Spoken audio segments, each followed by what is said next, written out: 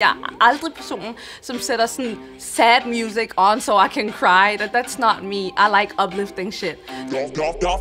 Y'all fake rappers could never touch me. Outfit bummy, punchlines crusty. Hej, back- mit navn er FIN, og jeg har lavet nummeret Shit. Eat good with me, live good with me. Treat me real nice, but I like a little hood, baby. Take me shopping, but I only like gold, baby. Put me on a flight, hmm, touchdown, Lakers, baby. Jeg har altid følt, at jeg var rigtig god til at rap. Jeg tror bare ikke, at jeg har haft selvtilliden til at sige, okay, jeg kan lave min egen musik. Altså, jeg turde ikke at drømme om at lave musik.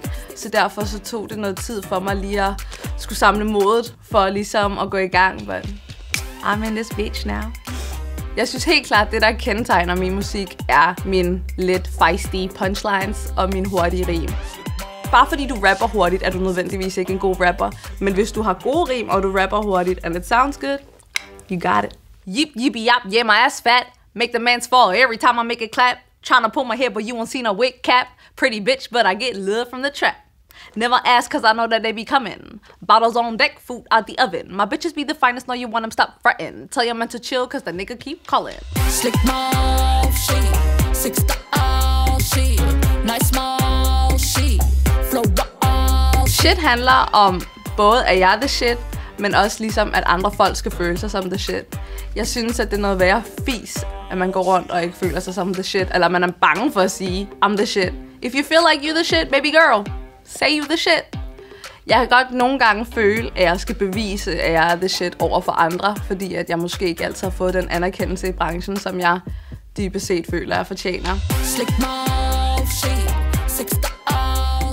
Det er utrolig vigtigt for mig at lave en sang og lave musik generelt, som får en til at føle sig som the shit, fordi jeg ved godt, hvordan det føles ikke at føle sig som the shit. Jeg har selv døjet med insecurity issues, og girl, you name it. I'm a woman, I'm a black girl.